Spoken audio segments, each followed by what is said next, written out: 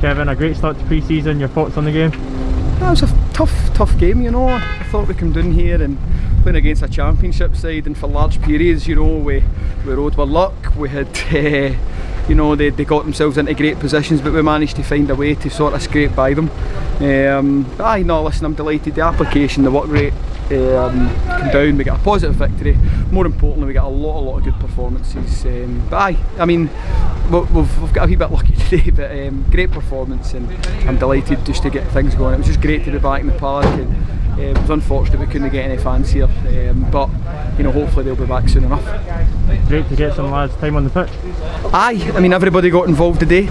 Um, young Will Greenhorn, Martin France coming in, getting a wee bit of time there as well. Um, you know all the boys, Kyle Banner get the full game, Jack Leach get the full game. So you know that's great for them. You know and the rest of the lads get at least you know 40 minutes or so. So aye, I'm absolutely delighted with today. We've come away injury free, so that's another positive.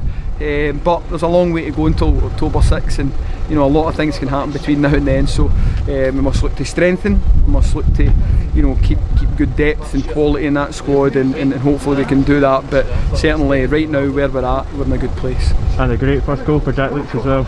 Aye, you know Jack was brought to maybe give us that wee bit of dimension, you know, and, and it's a good start for him. It's always nice when you start at a new club, you know, to get a goal and, and introduce yourself to your teammates and what you could maybe bring to the table. So delighted for him. It was a great wee header, fantastic ball for Div Wilson, um, and, and you know, as I say, like I think I think in wee spells between Jack and Div, you know, you could see some of the, the interchanging in play was was excellent there. So um, delighted with that. Um, but I'm delighted with all of them. I'm not going to, you know, Paul McLean, Jojo McGregor, Kyle Banner, Ross McGeachie at the back, um, James Craney, you know, the boys that come on, just just a good workout, you know, a real good honest workout for the honest men, ironically.